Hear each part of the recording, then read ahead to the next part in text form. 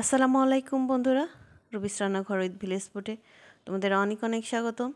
আশা করি সকলেই ভালো আছো, আলহামদুলিল্লাহ আমিও ভালো আছি। আর ভালো থাকো, সুস্থ থাকো, এই শুভকামনায় শুরু করছি আমার আজকের রেসিপি আজকে আমি তোমাদের সাথে শেয়ার করছি জঙ্গলি কচুরলতি রান্না করা। কেনা কচুরলতি ওইভাবে রান্না করা যাবে? তো জঙ্গলি আজকে আমি জঙ্গলি কচুলতি তুলে নিচ্ছে। দেখো বাড়ির পাশ থেকে এই কচুলতিগুলো তুলে নিচ্ছে। আর এই কচুলতির ব্যাপারে একটা কথা বলব যে, সবসময় কচুলতি তুলে এরকম সবুজ সবুজ গাছ থেকে কচুলতিগুলো সংগ্রহ করতে হবে। কালো গাছের কচুলতি সংগ্রহ করলে ওগুলা চুলকাবে বেশি।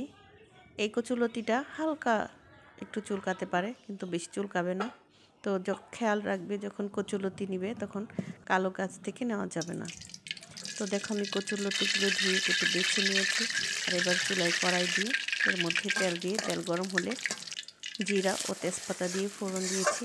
এরপর দিয়ে দিয়েছি কাঁচামরিচ, ফালি আর পেঁয়াজ কুচি।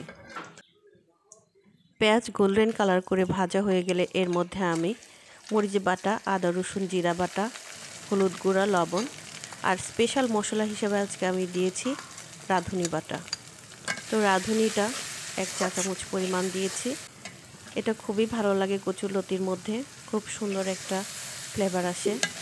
তো সবগুলো মশলা আমি আধা কাপ পরিমাণ পানি দিয়ে ভালো মতো কষিয়ে নিয়েছি। কষানো হয়ে গেলে এবার আমি কচুর লতিগুলো ভালো মতো কষিয়ে নিচ্ছি। আমি কচুলতির মধ্যে কোন রকম পানি অ্যাড করছি না। এমনি যে এর মধ্যে পানি থাকবে এটা দিয়ে কষানো হয়ে যায়।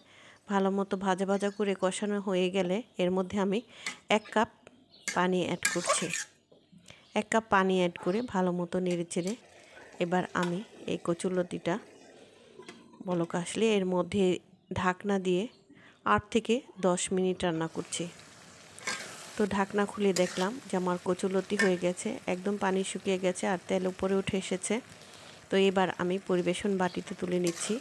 আপনাদের যদি এক কাপ পানিতে না সিদ্ধ হয়, তাহলে আরেকটু পানি দিয়ে সিদ্ধ করে নেবেন। তো তৈরি হয়ে গেল আমার মজাদার কচুলতি আশা করছি এভাবে রান্না করে খেয়ে দেখবেন। আর কেমন লাগে অবশ্যই কমেন্ট করে জানাবেন। আর চ্যানেলে যদি নতুন হয়ে থাকেন চ্যানেলটা সাবস্ক্রাইব করতে ভুলবেন না। যারা ফেসবুক থেকে দেখছেন, তারা আমার চ্যানেলটাকে ফলো করে রাখবেন। ভালো থাকবেন, সুস্থ থাকবেন। দেখা হবে নতুন কোনো রেসিপি নিয়ে। আল্লাহ হাফেজ।